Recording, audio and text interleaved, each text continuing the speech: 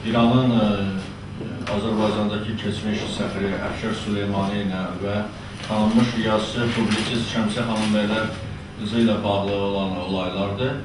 Və bununla bağlı Əfşər Süleymani müxtəlif mətbuat, kütləvi informasiya vasitələrində çıxışlar edib və biz özümüzə borc bilirik ki, yəni biz deyəndə Şəmsiyə xanım və onun vəkili mən Elçin Qəmbərov özümüzə borc veririk ki, bu məsələlərə aydınlıq gətirək və Əfşər Süleymanidən belə deyək, fərqli olaraq tutarlı faktlarla, sənədlərlə onun dediklərinə cavab verək.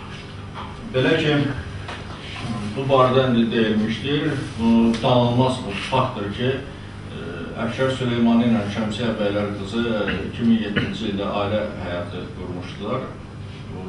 Belə deyək, İslam adət ənənələrinə uyğun olaraq kəbində kəsilmişdir və bu birgə nigah, birgə nigahdan bir övlad dünyaya gəlmişdir.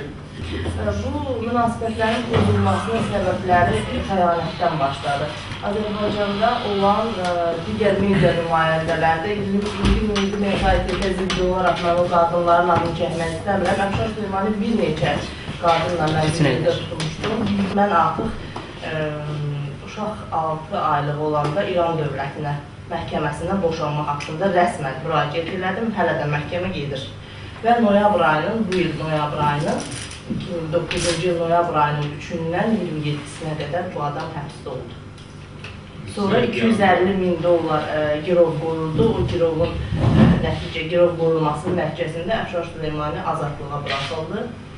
Onun Azərbaycanda olan mülklərinin heç birisi öz adına deyil.